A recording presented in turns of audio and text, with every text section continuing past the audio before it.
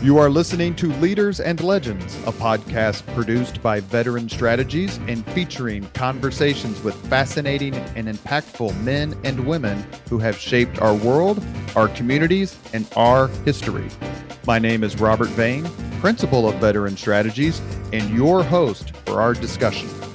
You are listening to Leaders and Legends, a podcast presented by Veteran Strategies, a local veteran public relations enterprise, and sponsored by Girl Scouts of Central Indiana, Garmong Construction, the McGinley's Golden Ace Inn, and MacAllister Machinery, your friendly neighborhood Caterpillar dealer. You may find all your sales and rental equipment needs at MacAllister.com. We are pleased to announce our podcast is now a member of the All Indiana Podcast Network in partnership with Wish TV. You can find Leaders and Legends at allindianapodcastnetwork.com. Thinking of starting your own podcast or need to host a public meeting? Let Leaders and Legends LLC be your partner as you look for new ways to communicate your message. Please contact Chris Spangle and me at leadersandlegends.net. Thank you for joining us on the Leaders and Legends podcast. Our guest today is Allison Barber. PhD, as a matter of fact, president and chief operating officer of the Indiana Fever. And that is only one of her amazing career stops. We are joined today by CEO, Girl Scouts Central Indiana, Danielle Shockey. So we are going to turn it over to Danielle as we always do. I will say this very quick, Allison, uh, before Danielle uh, takes you through the first half of the podcast. I have never, and I've never met you ever. I have never heard your name mentioned without, oh my God, she's wonderful, coming right behind it. Whether that's our good friend Denny Sutherland, who we love, who we should thank because he helped make this podcast happen, Bill Benner, Eddie White, Jim Morris, Greg Ballard, the list goes on and on. So thank you very much for taking time to come on the Leaders and Legends podcast. Danielle? Hello, Allison. So good to see you. Thanks for joining us on Leaders and Legends. Thank you um. Yeah, I typically start with tell us a little about yourself or tell our listeners what it is you do and how you got here. But you've been described as someone who's had eight or more careers. So I don't want to start just there, although I do want to talk to you about um, you know, kind of your path and what has led you to be in the role leading the fever. But I do want to start with maybe just for our audience um, who, who may not know Allison Barber, as Robert said, because most everybody in the community does seem to know who you are. But for those who maybe don't, just tell them in a really quick soundbite um, what it means to be the president and CEO of the Fever organization and just that little teeny bio of yourself uh, to get us started. Well, thanks. And thanks for having me on this uh, podcast. What it means to be the president of the Indiana Fever is that every day I get to put my hand and my interest and energy to uh, working hard to build this franchise brand so that kids all over the state of Indiana would be motivated and inspired by our game of basketball played by you know these amazing athletes and then also to build alignment and partnership as we think about issues of diversity and inclusion you know and girls having the opportunity to be a professional athlete all of these things. Every day i wake up and think how do we really excite and energize our state of indiana around this wonderful game of basketball and specifically women's professional game. So it's a wonderful job. I love it. I never expected to be in sports uh, but it's really a, a thrill so I've, I've read you know quite a few of your interviews in the past and your bio and and actually sports analogies um, and sports mm-hmm. it, it, like you said the first time in basketball but that's not new to you. So describe just a little bit do you love basketball and where did that come from? Well i grew up in northwest indiana. I do love basketball and you know i northwest indiana as a kid my parents you know because they're good hoosiers they bought me my first basketball hoop and my first basketball was the best Christmas gift I think I've ever gotten. Um, and you know, I talk a lot about my dad and I would shoot hoops and it was fourth grade, I guess, and he would always say, "Take it to the hoop, kid. Take it to the hoop." And I think you know that his idea behind that encouragement was if the if I got a little bit closer, I might actually make the basket. Uh, so it was a practical encouragement, but what it has played out to be for me really is a it's a lifelong pursuit of taking it to the hoop because for those of you you know people who play basketball or know the game, if you're driving the basketball and you're driving to the hoop, well, it means you're you know you're focused on scoring you've got a goal you're you're being aggressive you're playing offense not all these things that you know it's pretty simple for those of us who've been in the business world for a while to see the analogies but uh, take it to the hoop as a kid meant get closer allison because you're not that good. So maybe if you got closer you might make it. Uh, but take it to the hoop has really been a constant drumbeat in my mind around a strategy of uh, to drive to success. And I think, again, when we talk a little bit more about your career, it seems to me you've taken it to the hoop a number of times. Um, I do think, though, our listeners probably don't fully grasp, and I've only gotten to um, to learn this myself in our relationship with the Girl Scouts and the Fever, and and some of the things you've tried to do to gather people, community leaders together to think about how can the Fever be the community's team, and what does that mean. So my question to you is, talk to our listeners a little bit about it is it's basketball and it's a sport but it is so much more than that what are some of the um, exciting ways that you've tried to really make the fever be a household name mm-hmm. um, or maybe some of the more innovative projects that you're working on with the fever and its platform um, that that you believe are important for whether it's youth or our community or the sport. And i know that's a really broad question but again i i want people to expand their thinking about the fever basketball franchise because basketball is important but but it's really a whole lot more than that. Yeah it's, it's such an interesting question. It you know when i was offered this position uh, I did some just you know like anybody does. You're going into a new job and you try to think about what you know what can you do what you you know what can you put your hand to that might shape the direction or I mean, the goal is in every career that you know you're additive, like you bring something good and new. You know, if it was CEO of status quo, that would be a pretty boring position and, and a waste of time so when I, you know, landed in this role and met with Tamika, and we just, you know, we just kind of kept kicking around the idea of what is it that we stand for? What needle do we want to move? You know, it's it's not any different than other leaders and business owners. But we put together a strategy. We knew we wanted to create a championship culture. Uh, in in the the words I'm using, I, I hope it are coming across clearly. That I'm not saying win a championship, although we want to and we will win a championship too. But first and foremost, we wanted to create this championship culture, and we thought, well, what does it take to get to a championship culture? And so, you know, Danielle, to your question, we designed a three pronged strategy that is commit, compete, and contribute. And and that is really if the commitment is how do we commit to being the best people we can be every day? How do we commit to each other? That means we have honest conversations. Where you know we're always learning and growing. I mean it's a real transparent relationship within the fever franchise of this commitment to excellence. And it starts with each of us. And then compete of course is how do we win games you know how do we win the best partners? How do we win fandom? That's the compete piece of that. And then the third piece is the contribute and i think that gets a little bit to your the question you're asking me which i love is like how do you take this amazing game? You know i used to say and make a contribution in the community. So the c is how do we contribute back into our community statewide not just indianapolis but statewide?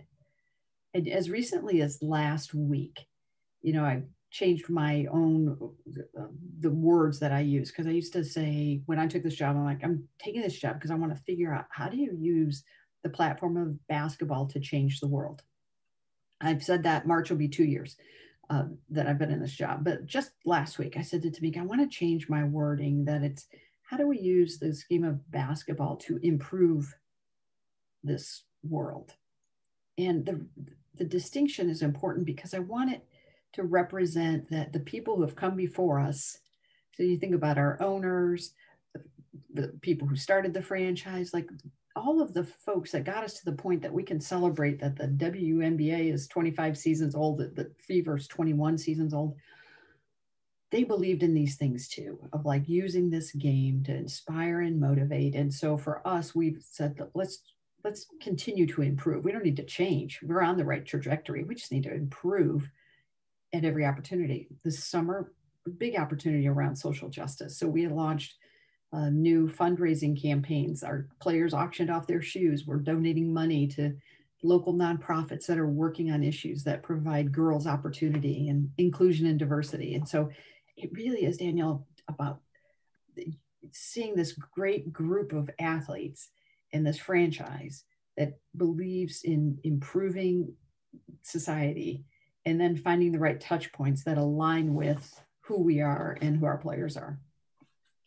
Is is the platform defined in your opinion by the organization or by the players on the team at the time? How important is it that they are passionate about um, i guess the needs or the work they're doing in the community yeah the vision is the vision is created by the franchise the execution of the vision is adapted to the desires and the passion of our players um, and so you know last also I, I, learned so much in this job it's really a ton of fun um, you know a couple years ago they used to say to our players when we would draft players. They had a little spreadsheet and they said, I think this was so interesting to me. Um, what are you interested in? What are you interested in? Because the idea is, oh, we'll see what you're interested in, and then we'll connect you with that opportunity in the community. Last year, we said to our players, you know, what if you were a force for good? What would you want to be a force for? What was fascinating to me is almost without exception, the answer to what do you want to be a force for was different than what are you interested in. Mm-hmm. So I had a player that was interested in cooking. I said, What do you want to be a force for? She said, Oh, I want to be a force for foster care. But that taught me like words really do have meaning, don't they? Mm-hmm. And so our vision is commit, compete, and contribute. Every player on the Fever, you won't even want to come to our franchise if you're not a person who wants to really roll your sleeves up and engage and you know contribute to the community because that's equally important to us but how you contribute will be designed around where our the where our players want to have a forceful influence so I want to um, pick up on something you said. Uh, I think it's fascinating as I've again learned a little bit about the franchise and things I didn't understand in terms of the inequities in female basketball um, versus their peers. Mm-hmm. And you've worked really hard, um, or at least it seems to me that Indiana and the, the Pacers and the Fever organization and all the leaders within it have worked hard to kind of create this platform for bringing equity to the WNBA and to the players in the in the in, in our team. Tell talk about the successes there, um, what work still needs to be done, um, and and really just kind of how our like you mentioned many of our many of our players right now are playing overseas. I think again our listeners may not understand the, these nuances, which I think are so important to the story. Um, and frankly made me a different kind of fan. So I if you share a little bit about that, if you don't mind. Sure. Well, the WNBA and the NBA or other male sports are they're really a different. It's a very different model. And so you know you think about in the WNBA, our players have to go to four years of college before they can enter the draft. So the majority of them already have a college degree. Where in the men, they have to go one year of college before they can go to the draft. Some of that design, I think, is because the understanding that the pay scale for women is so different than men's in WNBA versus the NBA. Uh, and so what you find is that for women, the, what they'll play in our season for the WNBA season runs from May to October when you make the playoffs and go through the full season. As soon the, the, the day our season ends, our players pack their bags, the majority of them pack their bags, and the next day they're on a plane overseas to play in the overseas um, market because that's how they augment their salary. And so, uh, and they're playing. I have seven of my players right now are overseas and Turkey and Israel and France and Russia and China and Japan. I mean, these are the countries that they go to to play. so what happens with that is that it's it's good because they augment their salary and they fine tune some of their skills, but it's physically really difficult. Um, and so we find that the average WNBA player plays for three and a half three and a half years. That's it. So you compare that to what you typically know would be true about men's sports. Very very different model. Our focus then is how do we develop our players? So we're we play in the summer. Uh, you know, how do we attract fans and and partners around the work that we're doing together? How do we build into our players? And then how do we provide learning opportunities for them? So when their season is over or when they finish playing, there's additional job opportunities. And so, you know, we're always talking, we're talking with companies around internships for our players and really finding out how do we help develop, give our players opportunities to develop. So they're very marketable to degrees uh, outside of playing this game that they love because it's a short career for the majority of them. Yeah, I think it's again, I think that that's something I had no idea, and I think it's fascinating some of the work that's been done to try to um, narrow some of the gaps. Mm-hmm. But I would say again, outsider looking in, there's a lot of work still to be done, so that our female players maybe don't have to um, to do what you just described and can make um, a career out of playing for the WNBA alone. Is that is that possible? I, you know, I don't know. I don't know if it is possible because it's a business model that says, you know, you have to bring in the right partners, you have to bring in the right ticket say amount of ticket sales. You know, I mean, there there is an economics to it. I do think that we've leveled some of the playing field, and our new commissioner has done great work.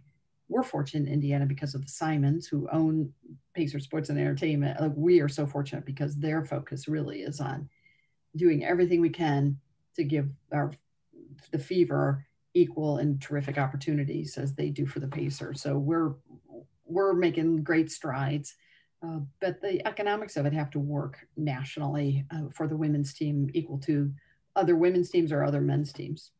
Yeah. Unfortunately there's a lot of follow the dollars right? It has to be a good business plan as well. Yes. so I, you you mentioned um, you learned something. You you know you read on a spreadsheet and so i want to give a little bit of your bio to our listeners and please forgive me if i make errors but you've you truly have have have had very different careers starting with first grade teacher mm-hmm. um, to leading um, a major not-for-profit to your own company to working as the deputy assistant secretary of defense um, in communications if i if i understand that correctly um, chancellor uh, and higher ed.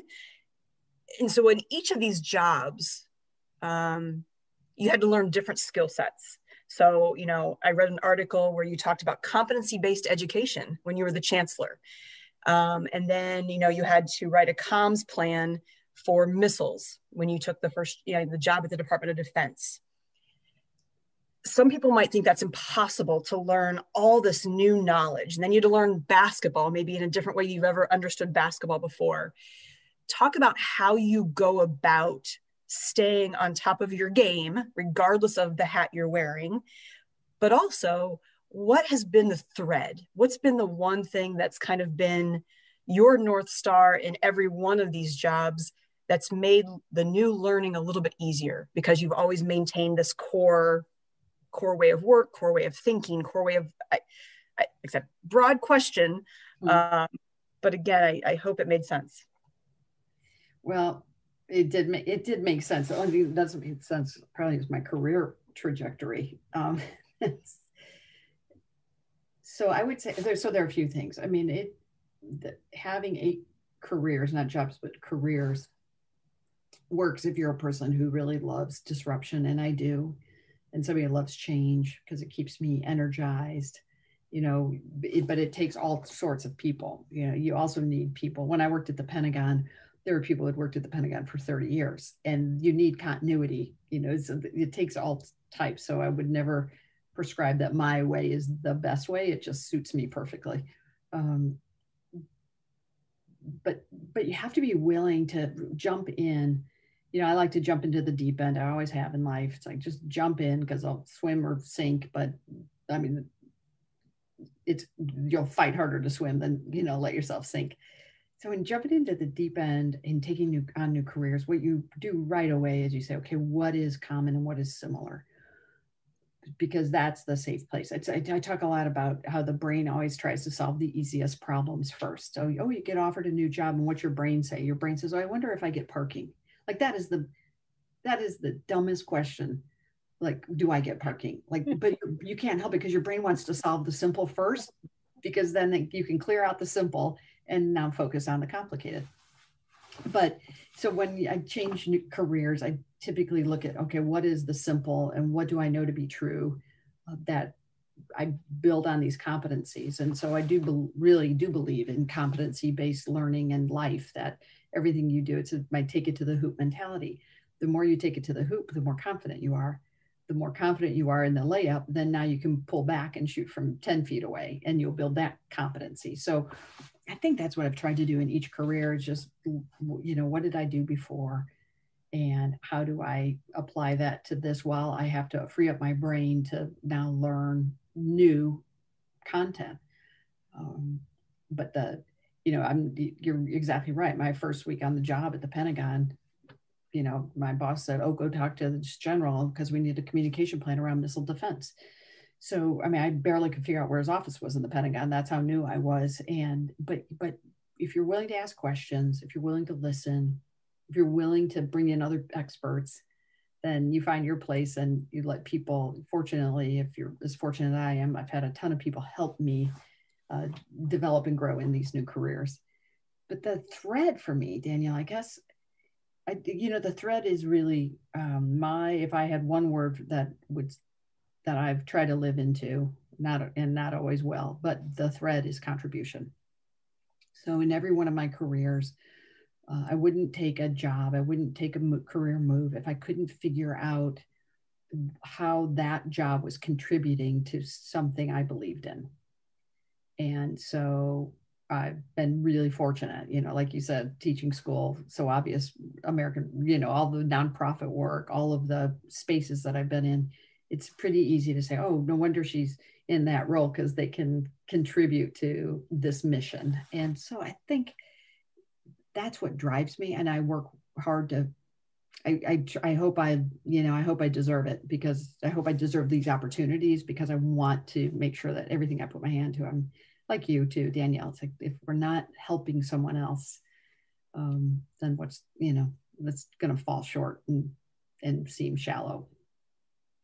So again, if someone were, were looking at your career trajectory, a mm-hmm. lot of it, I'm going to say makes sense. Like you could see how this built upon this, built upon this. But the very first step from first grade to Washington, D.C. may not make. So, like, how did you go from first grade teacher um, to kind of that next first step, which I think probably would be the, in my opinion, the greatest leap, if you will? Yeah, I think that, I think it was. That, that's a really good point uh, and because I was I taught school for six years, I had a master's in education, and so typically once you're set up in that way, people expect you will always be a school teacher, which is a great career.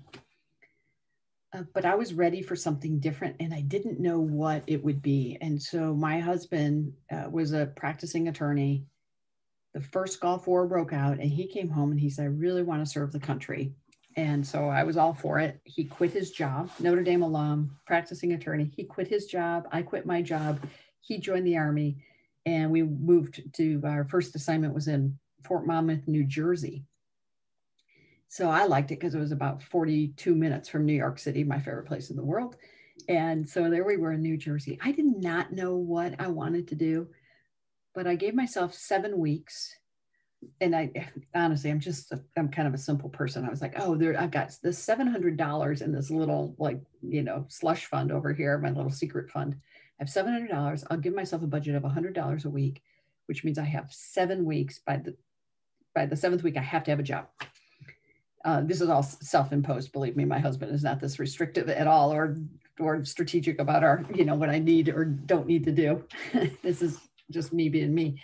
So I decided I didn't know what I wanted to do.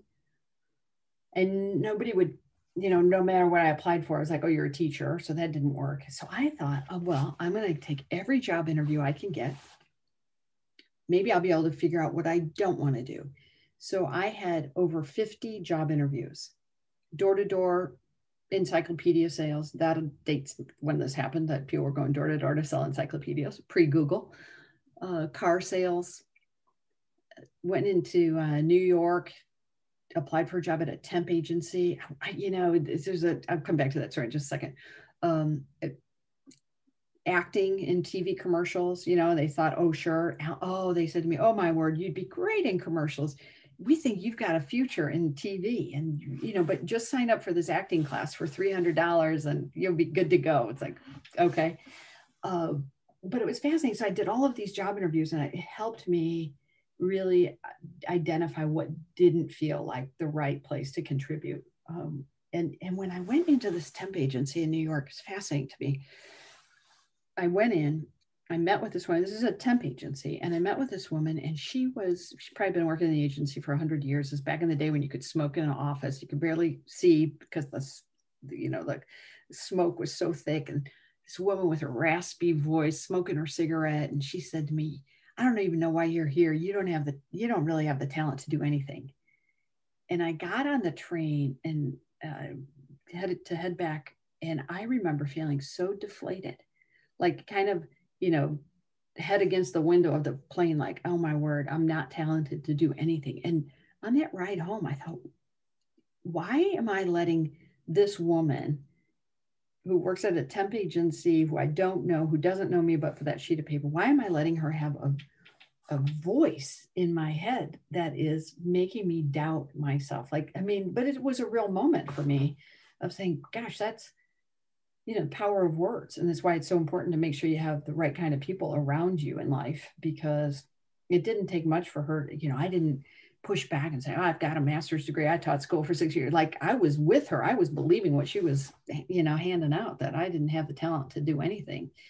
Um, so i kind of had to regroup after that conversation with her and i started volunteering uh, for a local nonprofit, which had an office in Washington, D.C. And so they offered me a full time job at the nonprofit. I moved, my husband transferred with the Army. We went to D.C. and spent 20 years there. And so it was really my, I mean, this is really what's so true. My volunteer work, my husband wanting to serve the country changed our geography. My volunteer work changed my trajectory, and I'm really grateful. So what was that? What was the agency? So that kind of was your your pivot point. Was with the red? Was it the Red Cross? American Red Cross. Yeah. Okay. Yeah, and it was interesting when I was teaching school in North. I think it was interesting, um, but because I still can't believe it, I was teaching school in Northwest Indiana, and in the summers I worked at a country club. I was in charge of. I was a, a Red Cross lifeguard, and so I ran the pool and tennis as a teacher so I could augment that huge rocking $16,000 a year salary.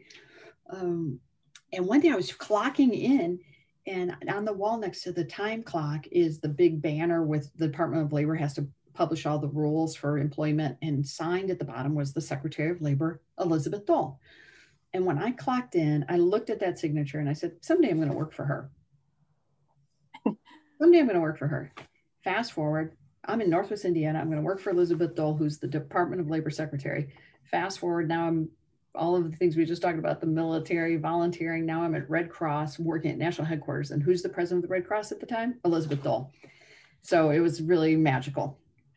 And and you still you still serve on on the, the Elizabeth Dole Foundation, is that right? I do yes. Just uh, about ten years ago, Elizabeth decided to start a nonprofit for military caregivers because her husband, Senator Bob Dole, was at Walter Reed for medical care for 11 months. I think that's right. And she would go every day and she'd see all these families that were trying to meet the needs of their wounded warrior.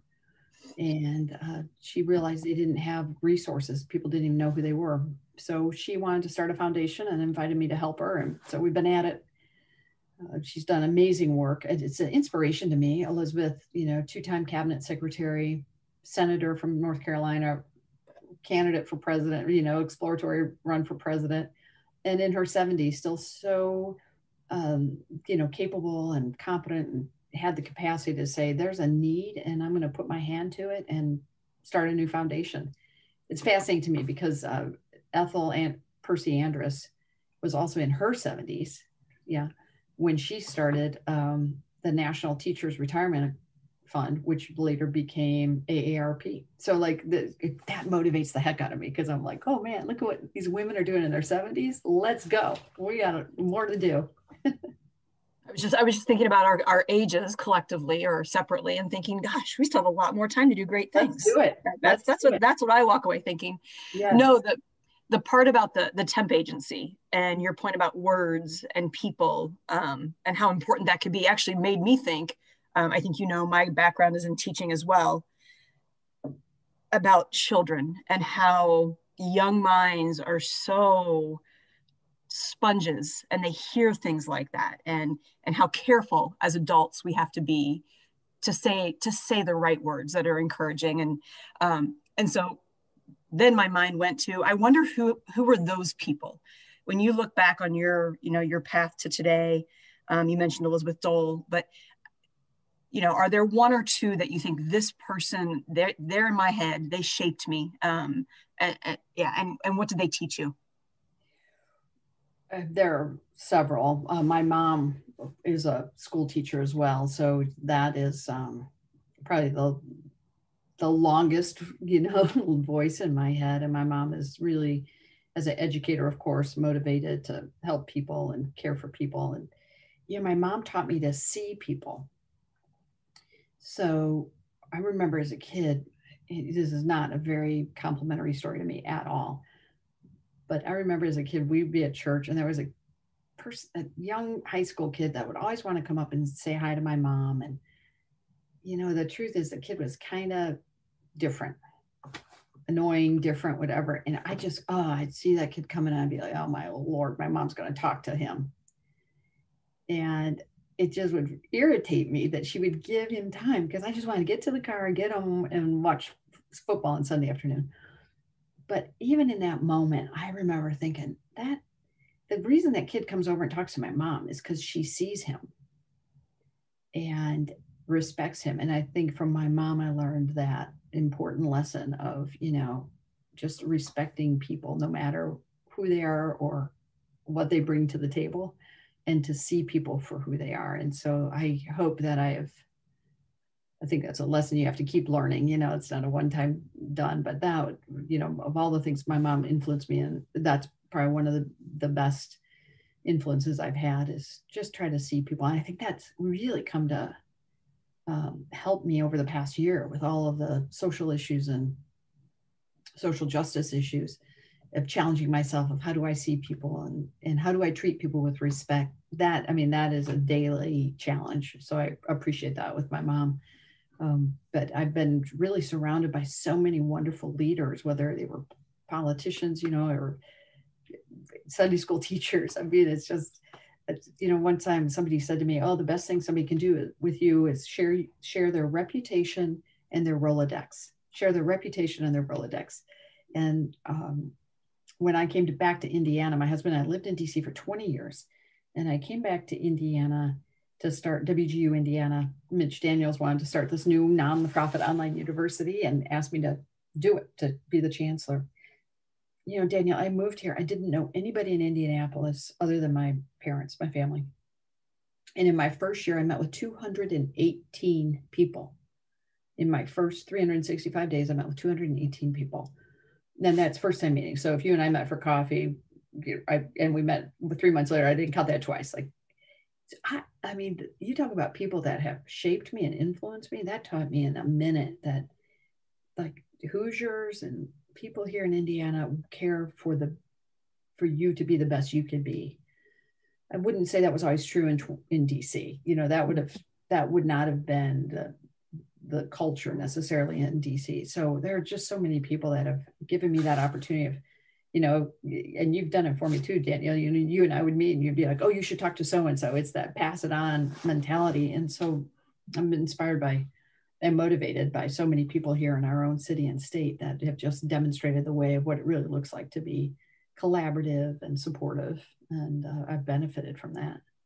No, I cannot agree more. Our community is I'd, I'd like to think that's all across the country and around the world, but I do think it's pretty special here. And uh, and you had great success at WGU from 250 students to 5,000. I mean, you you achieved. So I'm going to I have to kick it back to Robert here, um, but uh, he's going to probably take it a little different direction. So I'll chime in if there's something uh, something wise that I might want to say or do. But Robert.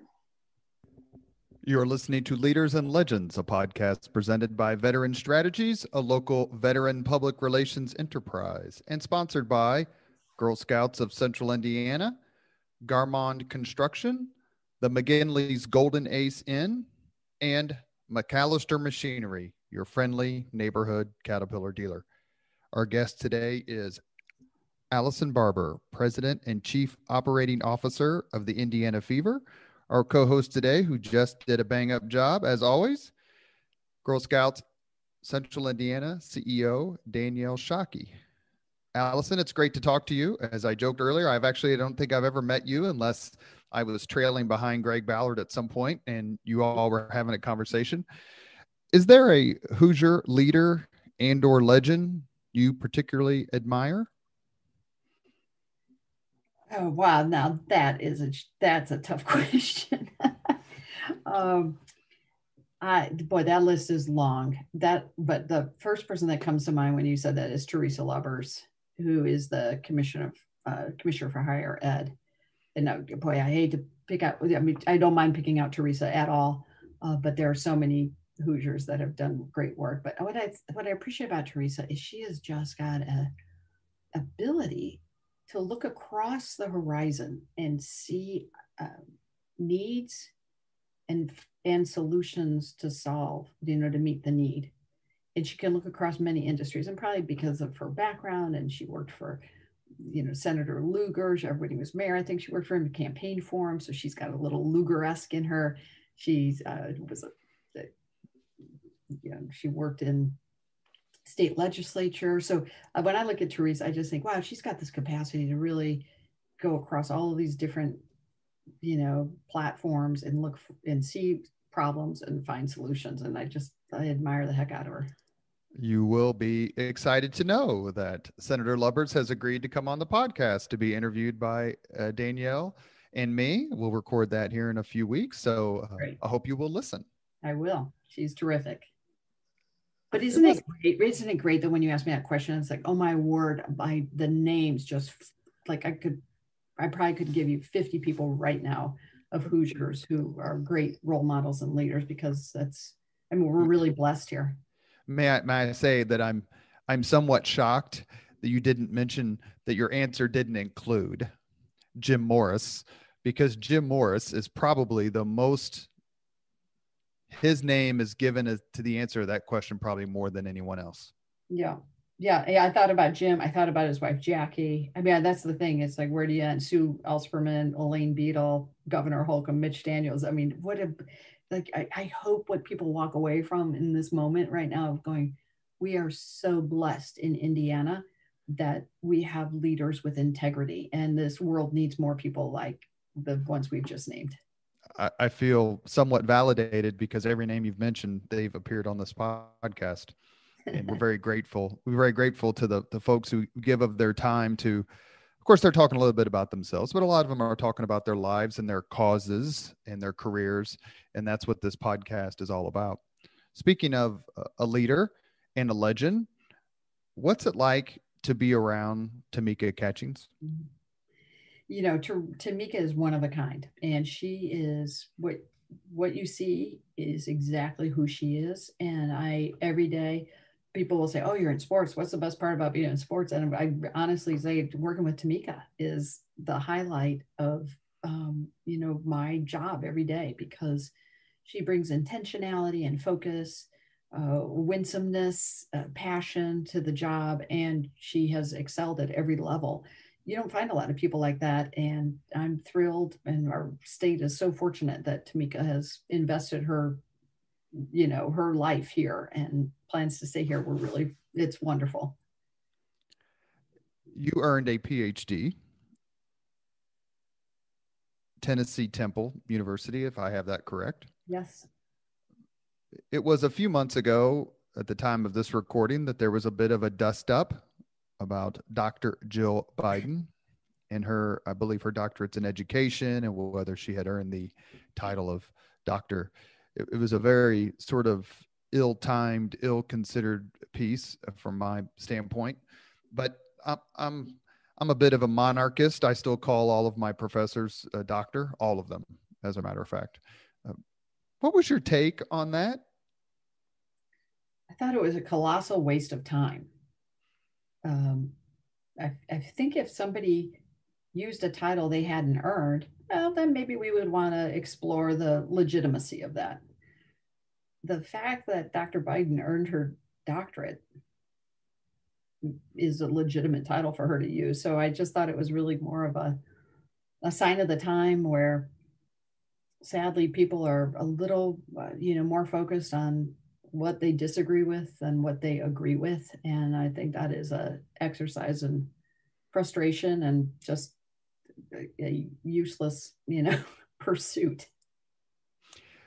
When Danielle is on the podcast, especially, but not just when she is on the podcast, we talk about and, and kind of use the phrase in a fun way, but what with good intent, uh, girl power. And what does that what does that word mean to you? Uh, it really just it means equal opportunity to succeed.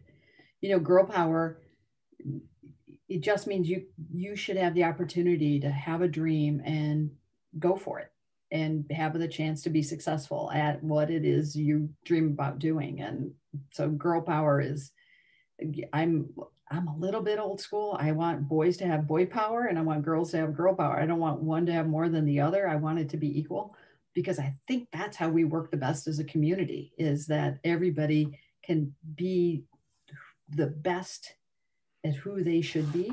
And that way we recognize and celebrate diversity and and differences. Has been mentioned on the podcast uh, more than once for better or worse. I was in the army from 87 to 90 go army. Go army. We hope governor holcomb isn't listening with his with his go navy bumper sticker on his car it's the uh, best navy we have that's right. I often say it's the best decision I've ever made. If you could speak for your husband, would he just say the same other than marrying Allison Barber? Yeah, if I could speak for my husband, I would. Um, joining the military, I think, definitely was the. It, it was one of the best decisions he's ever made. I tell you what really um, moved him was when he volunteered and went to a volunteer to go to Iraq. So he spent a year in Iraq. And he will tell you that that was the highlight of his military career, in that he had the opportunity to work side by side with these young men and women who, you know, such as yourself, volunteer to serve and to see their dedication and their uh, commitment uh, to do what was right in the military for the good of the world at the time uh, was inspiring to him. And it's, um, you know, that service is something that he holds dearly, and we both do. You know, I have so much admiration for him for serving and to all of our veterans who, you know, what a blessing in our country that people raise their hand and volunteer to serve this nation. And I'm very grateful. My son Joshua was one of the um, Americans, young Americans, uh, who volunteered uh, for the military after 9 11, mm. of which there have been millions. And I find that to be a particularly special group of people. As much as millennials get uh, punked out a little bit um, without completely taking their side on some things, I do find that to be an, an oft omitted uh, characteristic of the millennial generation. Uh, my son ended up doing uh, two tours in Afghanistan as a combat infantryman. And you're right. You are exactly right in the sense it's it's a specialness because you don't have to, and yet you do it anyway. And I felt as much as anything, as much as I was worried about him, I felt a special kinship to his wonderful wife uh, who remained in the United States as he went to Afghanistan twice. Hmm. What's it like to be that wife? Well, you're, you know, when your spouse is deployed, um, you know, for Lyndon and me, I do be to be completely transparent. It was, you know, we didn't have children. It wasn't as hard for us as it is for so many spouses who have to raise kids and deal with everything on their own. And so I'm very uh, cautious when I talk about what that kind of life is like when your loved one deploys. Uh, we were fortunate, you know, we had the, the when he deployed the first time to Korea for a year, it was difficult. It was before email. We could only talk once a week. It was incredibly expensive.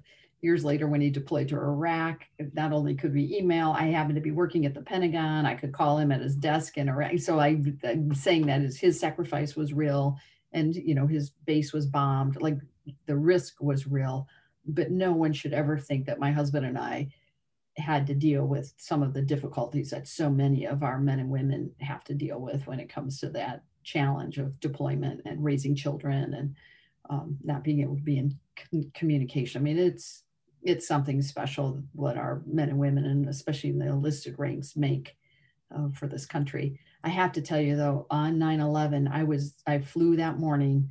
When you told me about your son, I was so inspired. I flew that morning of 9/11 to Atlanta to meet with an ad agency the purpose of the ad pitch was they were help, coming up with an ad campaign that the Department of Defense would use to help inspire and motivate people to serve in the military. Now think about this. I'm sitting in this meeting. When I arrived at the ad agency, they told me about the attack on the country. And that's why we're in Atlanta. I rented a car, drove back. The, that's a different story. But the point is, after 9 11 happened, we were so um, kids like your son. They didn't need an ad campaign. They saw our country was under attack and they raised their hand to defend and protect our country. We never did that ad campaign because of kids like your son. So you thank him for me, but know that that is a special, that 9 11 generation is a special group of military members who just saw the need and met the need. And it's really touches my heart. Well, thank you very much. I appreciate that. Um, it's one thing like I did to to be in the military and to come from a military family um, on Veterans Day. I I counted up, and if the uh, the generation below mine and the generation above mine, if you add them up, in my family there are fifteen. Mm, that's great. People who served. Uh, including my niece who was in Afghanistan and is now at the National Guard. Her name's Katie Elkins, who you may have actually met because she worked in the public affairs office. Uh, but but to volunteer after an attack like 9/11 to know that your chances of being shot at or in combat are exponentially greater. I agree with you. That is a special special generation you actually anticipated my next question because I was going to ask you where were you on 9/11 and you were in Atlanta but you could have been at the Pentagon. Yes. Yes. Um, I was working at the Pentagon from May prior to that. And so, yes, that morning I got up early and flew to Atlanta um, for the ad pitch. And it was interesting because um, when we got in the building, the receptionist was so frantic almost. And I said, What's happened? She goes, Oh, the World Trade Towers have been hit by a plane. And I said, Can I can you get me to a TV? And we're at this major, humongous, major successful ad agency. And they ran me into a conference room and there's a man watching a TV, and it was one of those small little televisions that had a radio attached to it. And like your grandmother probably had it on a microwave. you know, I was like the irony of being in this ad agency and this man watching the small TV, and I couldn't even see the screen because it was so small. So I had to peek over his shoulder, and then I saw the Pentagon was on fire, and I said, "That's not the World Trade Towers." He said, "No, a plane just crashed into the Pentagon." So I immediately got to a phone and uh, tried to call my husband, who worked across the street. So he actually saw the explosion of the plane into the Pentagon, and all the phone lines were down. And so then I called my parents, my mom, who lived in Indiana, lives in Indiana. And I called her and I just said, Mom, I just want to let you know I'm not at the Pentagon today. And she said, Okay. I said, You know, that was a short conversation, but I just wanted to let her know. My husband walked two miles from his office to get to a phone. And when he got to the phone, he called my parents to let them know I wasn't at the Pentagon. So when my mom answered and he's like, Mom, I just want to let you know, you know, Allie's not at the Pentagon today. And she said, Oh, I know, I've already talked to her. And it was years later when I heard my husband telling somebody that story that he said, you know, that was the first time I knew Allie was a safe. Was because I had talked to my mom. Ah, that's a great point. So he was so calm when he said to my mom, Oh, she's not here, but he didn't know where I was. He didn't know what plane I was in, what was happening, but it was just, you know, nothing but the facts. I'm not in the Pentagon. And so that was inter- interesting. Um, but anyway, I tried to get back to DC. We all the planes were landed, so grounded, and all, nobody was returning their rental cars to the airport. So I got an old phone book. You remember those things? The phone book.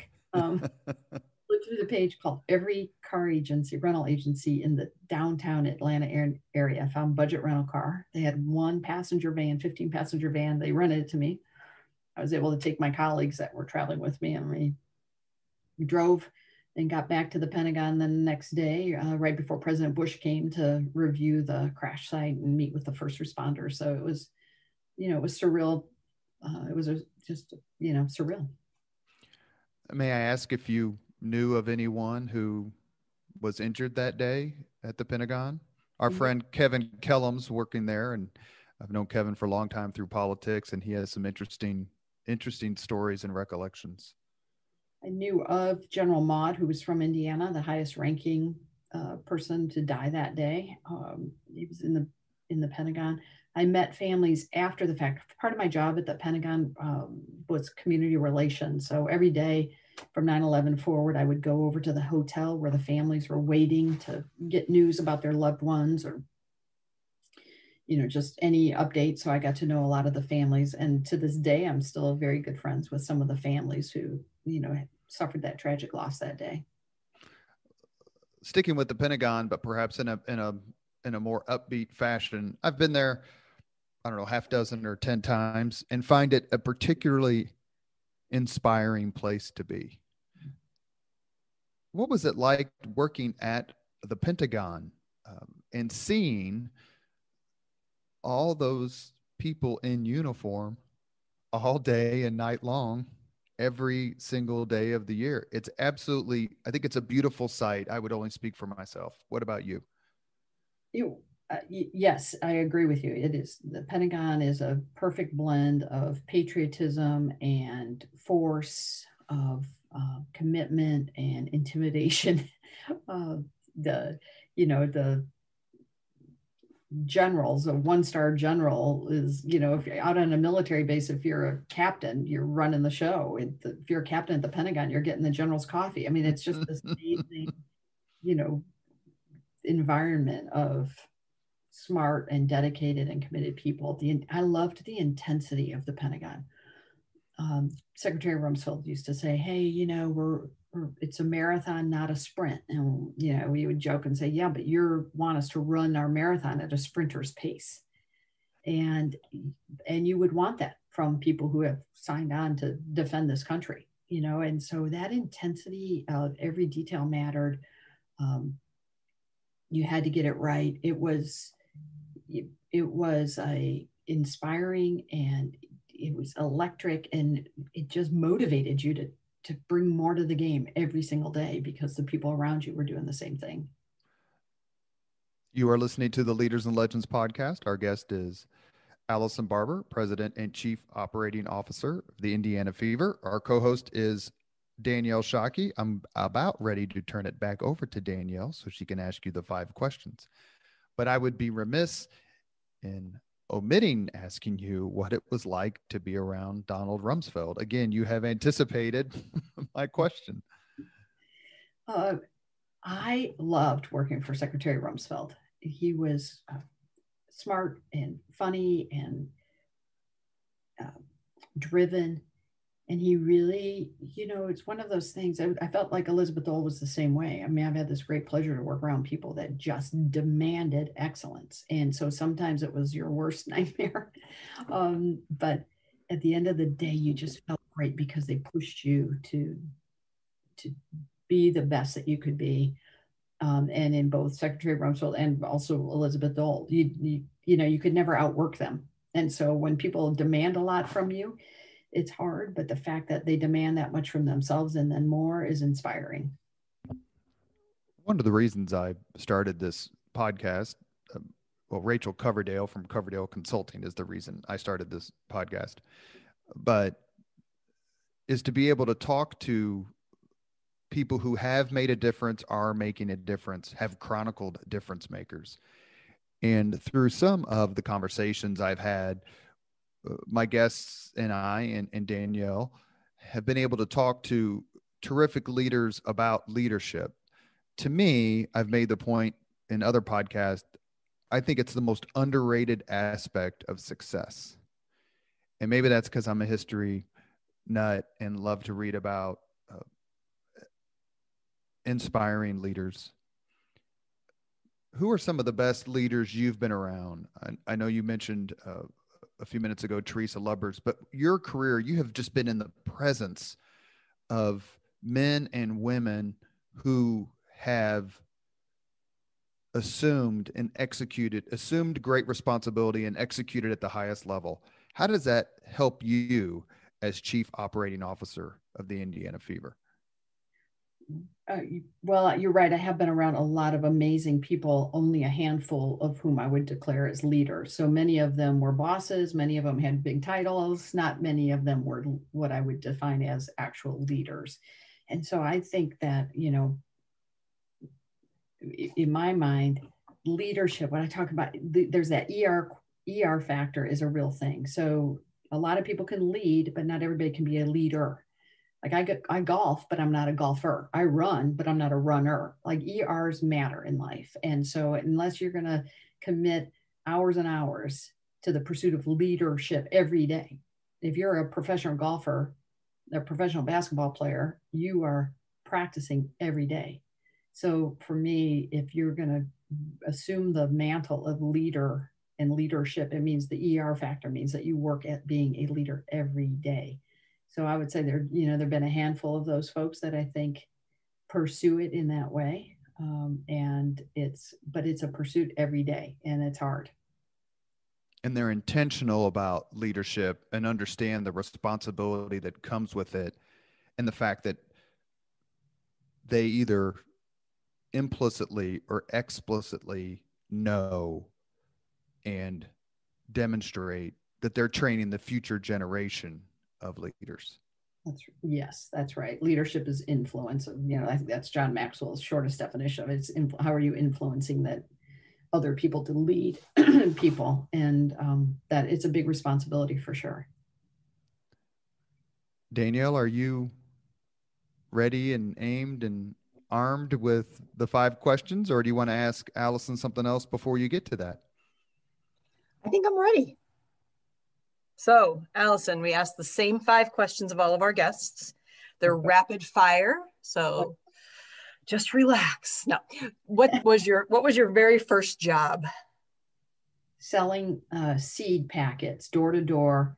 I was in uh, fourth grade. I wanted to make enough money to buy a used car. It was twelve hundred dollars. It didn't dawn on me that if I could buy it, I couldn't drive it. But I ordered seed packets from Bazooka and went door to door selling seeds. Oh my gosh! Which this is not one of the five questions. Side story: Did you ever sell Girl Scout? Were you a Girl Scout? It wasn't. We didn't have Girl Scouts at my my community, my school. Okay, because you could have been a top Girl Scout seller, I bet. Okay. S- second question: What was your first concert? Uh, first concert was. I don't know that I've been to a real concert as a kid. I think it was maybe Johnny Mathis. Isn't that terrible? It's terrible. Fire me. Fire, it was going to be either Barry Manilow or Johnny Mathis. And My repertoire is not that interesting, but I've never even been to a rock concert. oh, there's a there's a thing we need to do with Robert. We'll take Allison to a concert someday. Robert is quite the, mu- the music connoisseur. Third question: What is one book that you think you'd recommend to others to read? Oh, I just read the Gratitude Diary. It's terrific. Just totally awesome book about the power of gratitude. So the gratitude diaries, it's even a good audiobook. The author reads it and you feel like you're just having coffee with a good friend listening to it. It's awesome. Okay. If you could witness one moment in history as it happened, be there, what would you w- want to see? Past one minute in history. Ooh. I'm not going to go very far back. That's a good one. I'm not going to go very far back. I would have loved to have been at the speech where Ronald Reagan told Gorbachev to tear down that wall. Excellent choice. And he did it despite the fact that most of his advisors told him not to say it. That's exactly right. His speechwriter told me that story too. Like they, everybody said it's too. I thought this one was so interesting. His chief of staff said it's too optimistic to be presidential. Too optimistic to be presidential. Isn't that interesting? That would make a great book title. No one, no wonder Nancy Reagan didn't like Mr. Uh, Donald Yep. Regan. Yep. All right. The fifth question If you could have two hours off the record, dinner, lunch with somebody a li- living today, who would you want to sit down with? Oprah. That's a great answer. One I do not believe we've had. Yeah. Yeah, I think she's fascinating on every, you know, every level of her success and career and the influence and impact she makes in this world. I think it'd be interesting. You have been listening to Leaders and Legends, a podcast presented by Veteran Strategies, a local veteran public relations enterprise, and sponsored by Girl Scouts of Central Indiana, Garmong Construction, the McGinley's Golden Ace Inn, and MacAllister Machinery, your friendly neighborhood Caterpillar dealer. Our guest today has been Dr. Allison Barber, President and Chief Operating Officer of the Indiana Fever. Our co host has been Danielle Shockey, CEO, Girl Scouts of Central Indiana. Thank you both very much for your time today. And Allison, please thank your husband for his service. Thank you very much for listening to Leaders and Legends, brought to you by Veteran Strategies Incorporated. If you want to contact us about this program or our menu of public relations services, please send us an email at robert at veteranstrategies.com. That's robert at veteranstrategies.com.